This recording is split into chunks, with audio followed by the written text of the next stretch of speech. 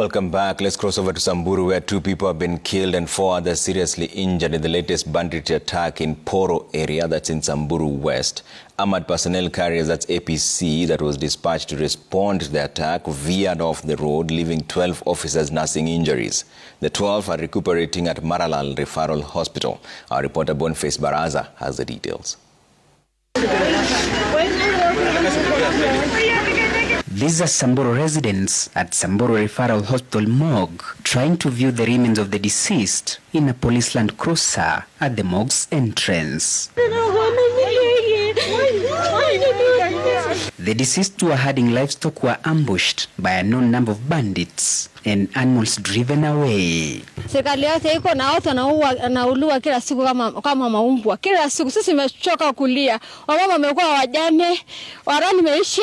Sasa sisi, sisi nalia juu sisi mechoka, mechoka, mechoka. The attacks saw exchange of fire between a joint team comprising of GSU officers, general duties officers, and national police reservists who tried to repulse them before they drove the animals towards the Malaso Valley.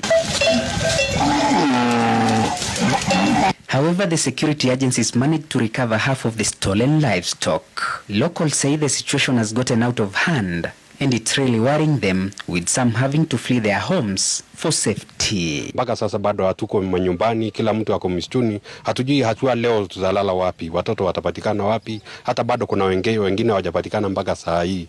Sasa tunalilia tu serikali, mbona mnatufanya hivyo? Tuko kwa, kwa, saa, kwa ajili yenu, hatuna uwezo wengine. With the bandits seemingly sustaining their attacks, local leaders have faulted the security agency's commitment in taming the bandits. Mimi naomba Rift Valley eh, commissioner ambaye alikuwa ametoa onyo kwa wale wote ambaye wanaishi katika Suguta Valley waondoke ili waweze kufanya kazi. Mpaka saa hii nataka kumwambia kwamba bado wamejaa, wameishi ile ng'ombe na mbuzi imeenda leo imeingia katika Suguta Valley. Ile maisha ya watu tumepoteza, tumepoteza kwa ajili ya hawa watu ambaye wanatoka hiyo Suguta Valley kila siku, na Suguta Valley sio ya kwao.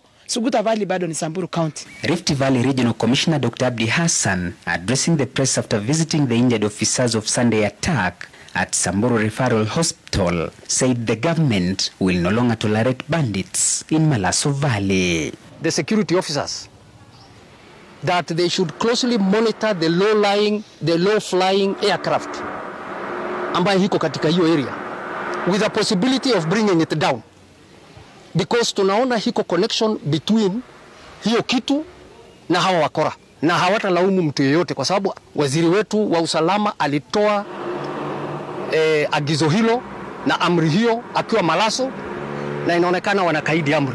The 12 officers receiving treatment at Samburu Referral Hospital were injured after the armored personnel carrier APC they were using in containing the bandits veered out of control. The latest banditry attack puts in question the government's commitment in flushing out the bandits from the volatile Malaso Valley in order to restore normalcy, with residents questioning the government's commitment.